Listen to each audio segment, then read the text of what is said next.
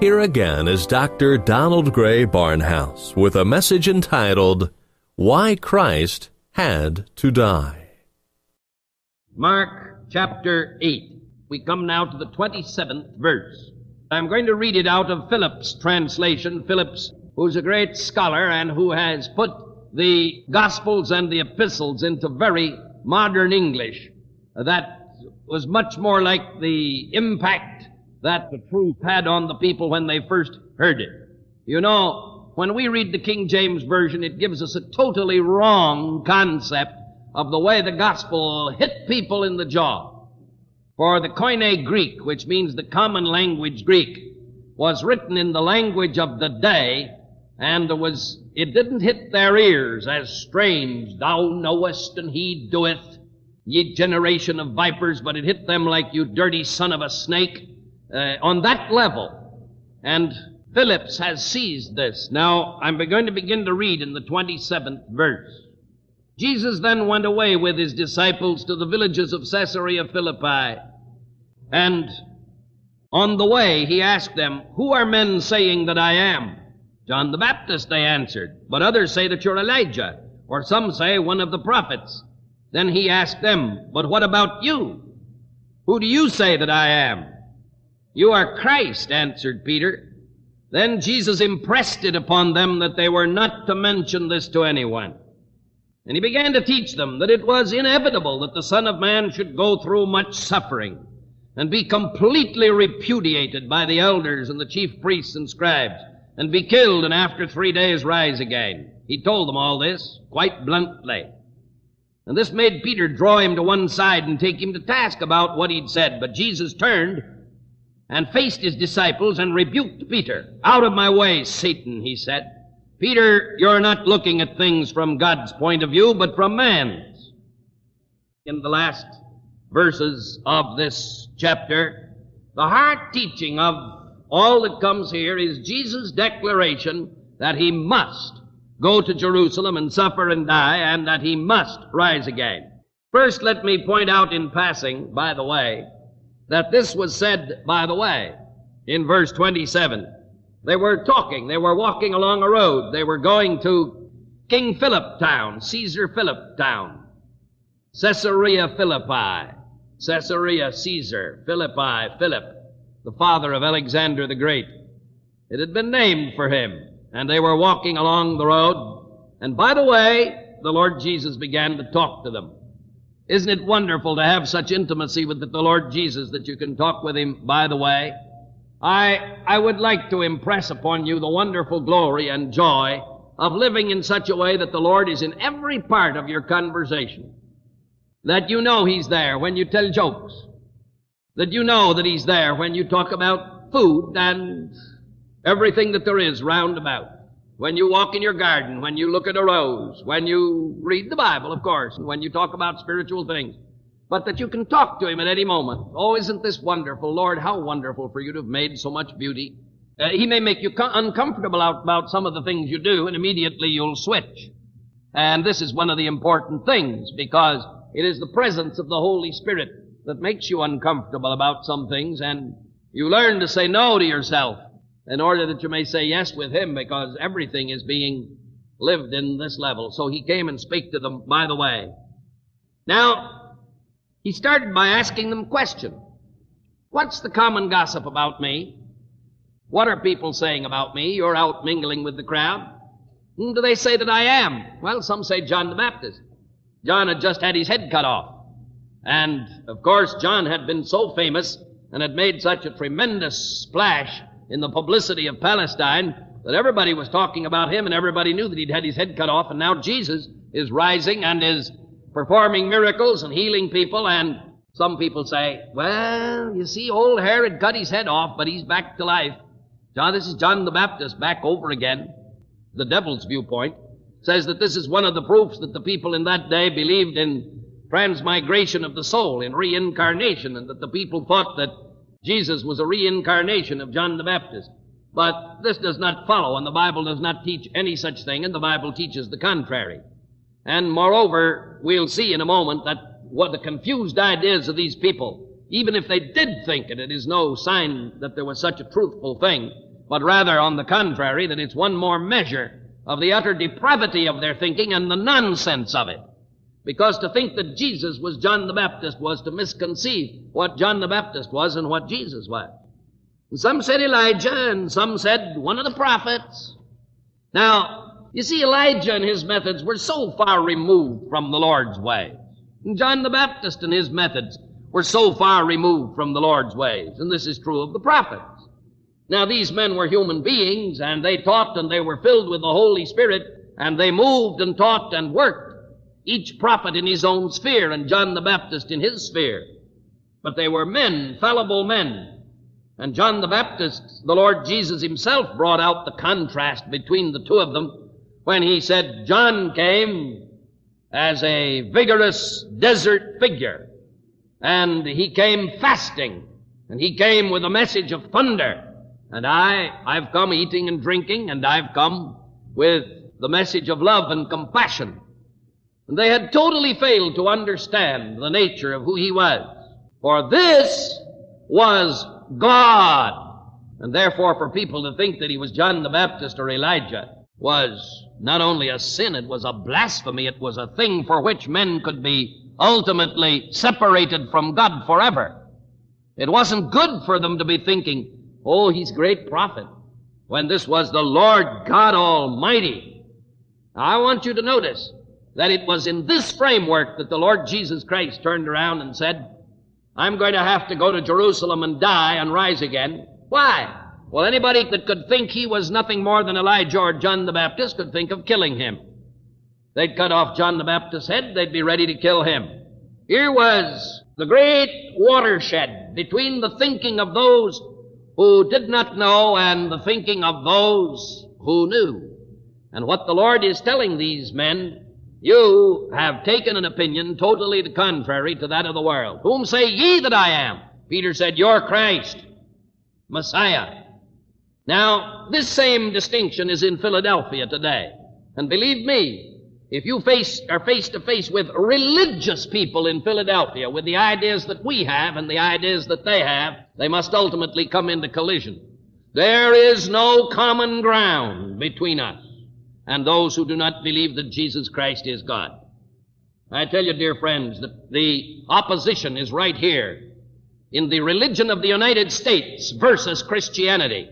For the religion of the United States today is Oh, God is good. God is love. All men are brothers. Brotherhood. This is the time for the first place on earth where in America, God bless America, why everything is wonderful and all men are equal and all men are brothers. Someone says, don't you believe that? Not only do I not believe it, but with all the force of my being, I fight against it and say that it is from the devil. Now, how did these questions and their answers serve as an introduction to the announcement of Christ?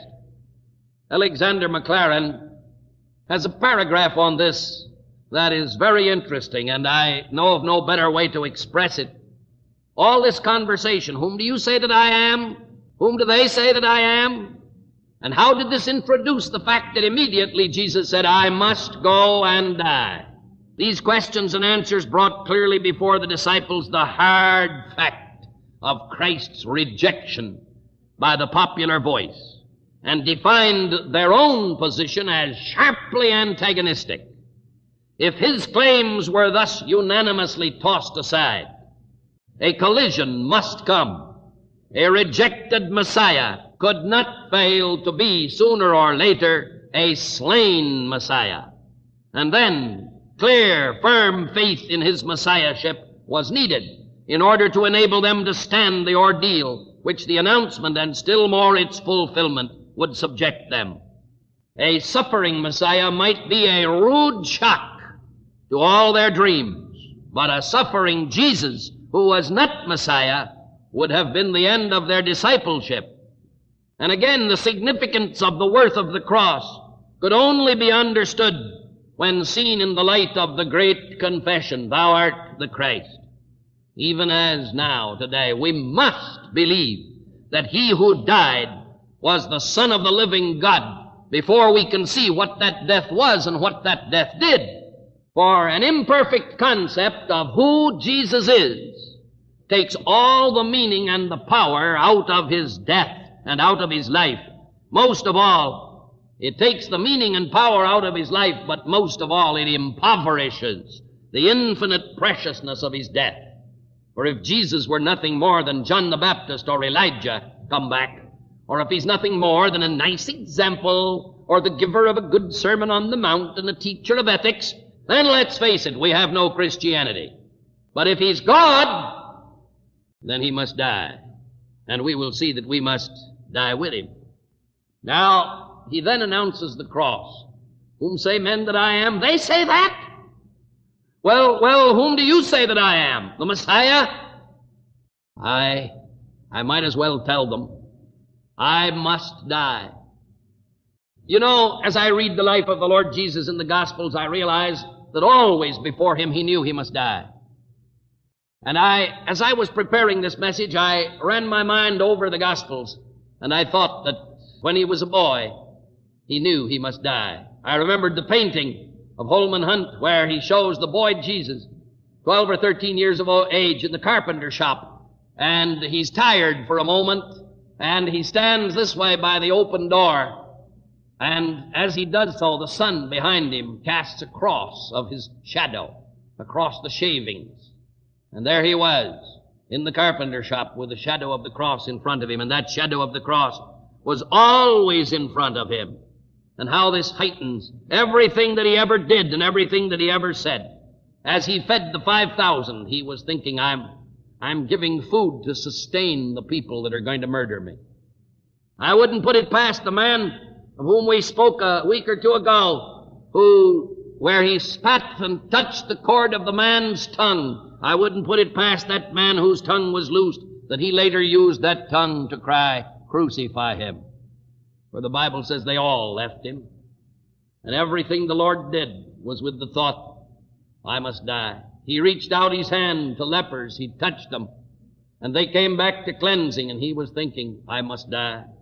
He, he gave sight to the blind, and as they opened to see him, he, he's saying, I must die. For he knew that what he was doing was dependent upon what he was going to do. Christ must suffer, he said. Well, why must? Must. Now, this imperative was all through the life of Christ. When I came to this point in my preparation, I took a concordance and looked up the word must.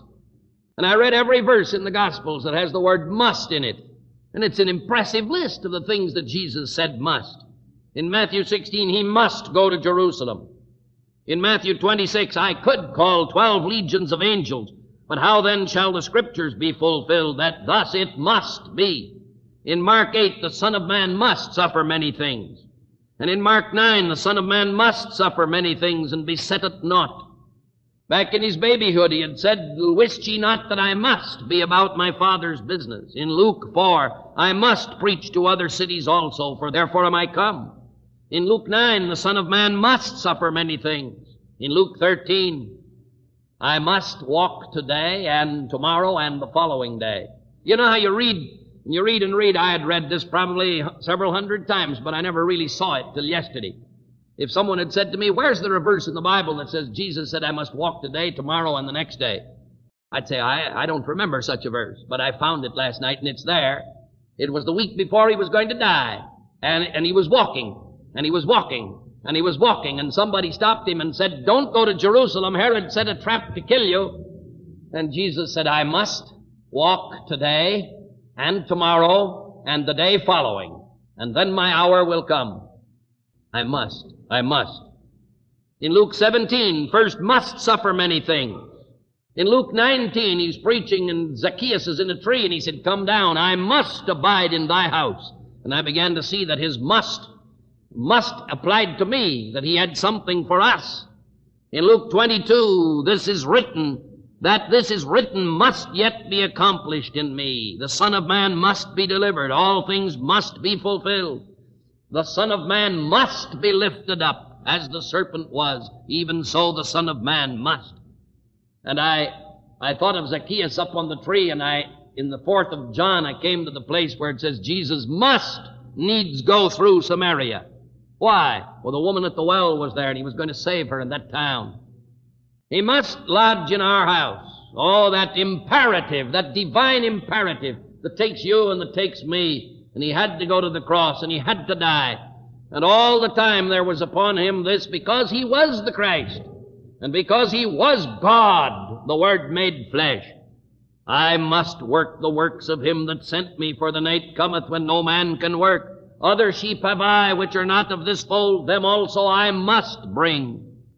How sayest thou, they said to him, that the Son of Man be, must be lifted up? Now, you see, this imperious necessity was not because of man. Jesus did not say, I must be killed because men are going to kill me. The Lord did not have to allow himself to be put to death. In fact, Jesus flatly said, No man taketh my life from me. I lay it down of myself. I have power to lay it down, and I have power to take it up. He could have stopped this if he had wished, but thank God he did not wish to stop it. There was none other good enough to pay the price of sin. He only could unlock the gates of heaven and let us in. And this great must ruled his life. And this must was a cable of two strands obedience to the Father and love to man. That's why he must. I do that which is well pleasing to the Father, then I must die and pay the price of sin. I love the world, then I must die, for there is no other way. And this is the cord. You might say the two parts of the harness that drew him. Obedience to God and love for you and for me. I must and he took on this harness, and that it was which drew him to Jerusalem, and that it was which drew him to the cross, and that was what fastened him there, not the nails. It was love that drew him there to be a sacrifice for you and me. His desire was to save, and therefore he must die. Now that must also, if you look closely at our text, that must goes beyond the tomb. The Son of Man must die and rise again. He must rise. Why? The vindication by God of all that he was claiming. He must rise. Now they didn't understand this, but we do. They didn't know that Jesus was going to die and rise again. Even to them it was a candle in the fog, but to us it's a sun in a blue sky. They didn't understand, for in fact, this very, very message that Jesus gave to them that day the Son of Man must die and rise again. Do you know they forgot it? The proof that they forgot it is found in several places. In John chapter 20 and verse 9, when Jesus rose from the dead, they were in a dither around Jerusalem, and it says, For as yet they knew not the scripture that he must rise again from the dead. And in Luke 24, on the road to Emmaus, they came, and Jesus said, Didn't you have any faith? They said, Well, we left Jerusalem this morning, and some of them said the tomb was empty. They came back with a, a tale about resurrection. But Cleopas said, Come on, let's get going. It's a long way back to Emmaus. They'd forgotten. And if you turn back to John 2, verse 22, when Jesus said, Destroy this temple, and in three days I'll raise it again, and he was talking about the resurrection, this is what John 2 says. When he was risen from the dead, his disciples remembered that he had said this unto them, and they believed the scripture. That's extremely important. When the disciples, after the resurrection, they remembered. Oh, what hope this is. The Lord plants some truth in our hearts and it doesn't hatch for a long time afterwards. There's so many instances of truth that has been put in the mind of a child and the child goes halfway to the devil. And then the Lord hatches out the truth. You have this in so many cases. John Newton, his mother taught him the verses up till he was five. Put the, the eggs in his heart and went off, and there was the truth. And John Newton went all the way to slavery and drunkenness and misery in Africa. Then God saved him, and he became a force and a power. This is our hope. This is our expectation that God will thus work. But they didn't understand. I must die. And then the Lord Jesus Christ rebuked Peter because Peter came with this terrible, strange idea that death isn't necessary, that crucifixion is not necessary. For if he must die, then there comes to us what he is now going to say in the rest. Whosoever will come after me, let him deny himself and take up his cross daily and follow him. This is so vast a subject that it can't be treated in the one moment. But if you take it all in outline, it is simply this. Who am I? And if you have any less opinion, you put Christ to death. For the world, vox populi, was not the voice of God. The voice of the people was the voice of the devil. And when they cried, oh, this is Elijah, this is a prophet, he's a good man, he's this, he's this, they were putting themselves in an antagonism, but we who have taken the position, Thou art the Christ, the Son of the living God, we then make a commitment to Him. And the minute we do, we are drawn with these same cords. We're put in the same harness. Take my yoke upon you and learn of me, and yoked with Him, we must be drawn to the cross. In this world you shall have tribulation. And if any of you are seeking a good time and an easy way and a light Christianity, I wonder if you're saved. And I say give diligence to make your calling and election sure, and I call you most earnestly to seeing the tremendous implications of the fact that we are committed to Jesus Christ, Jehovah God, as that which ties us with Him in His hatred by the world he said it in John, if you were of the world, the world would love his own. But because you are not of the world, and I have elected you out of the world, therefore the world hateth you. So I'm calling you to a life of association with Jesus Christ, that you take your stand boldly against popular opinion in the United States, against cheap religion, against the sleazy idea that God can be taken into your business and you're sure of good dividends if you hold right thoughts and that everything is just lovely if you think positively and are a nice creature. All of this is alien to the truth of the cross.